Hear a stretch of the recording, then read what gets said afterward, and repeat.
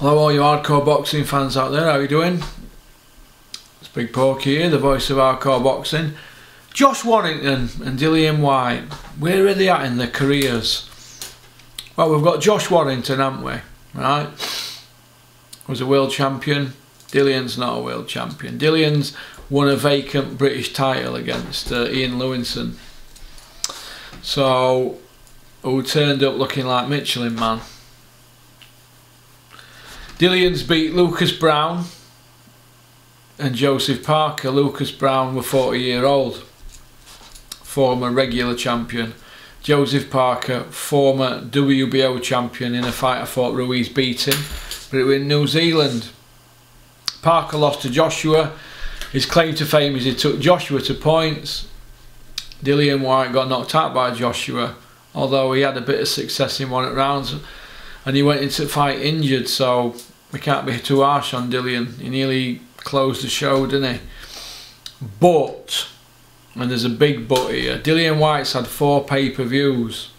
He's had ample opportunity to fight for the world title. He could have fought Joshua at Wembley for four belts, 90,000 sellout, in a rematch with intense beef.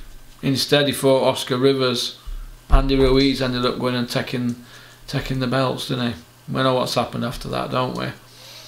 He didn't want to fight Wilder, made loads of noise with WBC, but they've never served solicitors' letters on the WBC, have they? Other people have threatened legal action and gone through with it to these governing bodies, sanctioning bodies, whatever you want to call them. Dogs they are, dog bodies. Dillian Whyte's never took legal action. Why? Because he's been happy to get pay-per-views for fighters that are not A, A grade. He's been fighting C plus fighters and getting or B minus fighters, maybe C plus, and getting good money. And being told the Joshua fight's always there and blah blah blah. Dillian Whyte's next birthday, he's 33 year, he's 33. So he's in his 33rd year. He could have missed the boat. He might have missed the boat. Now, as far as I'm concerned, badly advised. Badly, badly advised. He's like Eddie Hearn's spare wheel that he goes to. That's how I look at it. Badly advised, but he's had four pay-per-view. That's more than Carl Froch. It's unbelievable what's going on. Unbelievable. Unbelievable. And then we've got Josh Warrington, English, British, Commonwealth, European, World Champion, 30 and 0.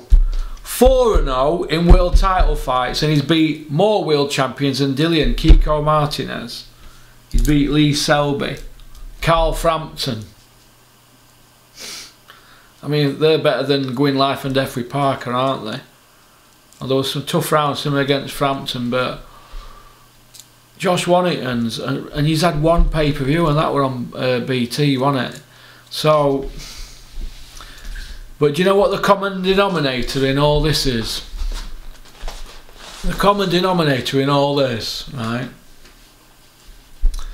Dillian Whyte's hanging out of the back of IFL, isn't he? And vice versa, IFL are hanging out the back of him. Josh Warrington, he's not bothered about all that, is he? He's a proper Yorkshireman, isn't he? He comes out, gets a win, and he does the business, doesn't he? Now, is this where boxing's heading? Because you're not controversial on IFL or other media outlets. You've got to be seen to be selling yourself. Josh Warrington's not into all that, is he? Are too many fighters more bothered about getting on YouTube and getting themselves out there than actually going and getting a belt? I mean, Dillian Whyte's been presented with the Pulev fight in Bulgaria. It went to purse bids. The Bulgarians won the purse bid and Dillian Whyte pulled out. So why let it go to purse bid? Why do that if you're not going to fight? It's craziness. It's crazy. You can't have it all your own way. You've got to come out of your comfort zone. Hughie Fury came out of his comfort zone, didn't he? What? 23, 24 year old, four week after a bad cut with, against Bakole. I know about that cut, I was there. So, point I'm trying to make is this. Is this where boxing's heading? Is it now becoming a circus? I mean, they're talking about that Eddie Hall fighting some strong bloke from Iceland or something. Did anybody ever see that sparring that Hughie Fury did with Eddie Hall? He punched him upside down, smashed him to bits, made him quit. Why would why would why do we want to see that on, on a pay per view platform? Eddie Hall against some some whatever. I mean, what what next? We've had Logan Paul KSI. What about boxers getting paid? What about kids turning pro and getting the chances? We don't want to see that. We don't want to see Mike Tyson Holyfield. They're pushing 60 year old with grey beards. We don't want to see it. We don't want to see Shannon Briggs walking around saying, let's go champ. Shannon Briggs, you're a chump. We want to see kids coming through and getting their opportunities. So that's my opinion on it all anyway. I wish Dillian Whyte all the best. I don't mean to dig him out, but he needs to lay off that YouTube because they're just digging in themselves. They're digging themselves in holes all the time. Just go about your business and be a. Whatever happened to I'm a fighter and I fight, eh? Instead of all this social media nonsense. So peace out, keep on trucking, keep sporting boxing. Andy Patterson, pick up the phone. Pick up the phone, Andy Patterson.